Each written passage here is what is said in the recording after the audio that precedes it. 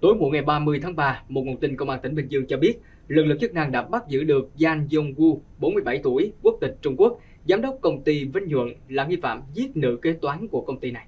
Danh Dung Gu bị công an tỉnh Gia Lai bắt giữ khi đang lẫn trốn trên địa bàn thành phố Pleiku. Được biết, công an tỉnh Bình Dương đã phối hợp cùng công an tỉnh Gia Lai để di lý nghi phạm về Bình Dương điều tra.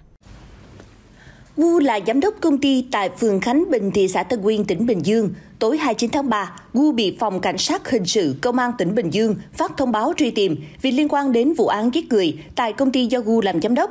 Nạn nhân là chị My, 30 tuổi, ngụ Bình Dương, là kế toán của công ty. Chiều 29 tháng 3, nhân viên công ty phát hiện chị M tử vong tại công ty nên báo công an. Qua khám nghiệm hiện trường, xác định nghi phạm gây ra vụ án mạng là Giang Song Gu, sau khi gây án, Giang Zonggu đã rời khỏi công ty trên chiếc xe bán tải nên tiến hành truy bắt. Tới tối 30 tháng 3, các trinh sát phát hiện người đàn ông này tại phường Phù Đổng, thành phố Pleiku nên tiến hành bắt giữ.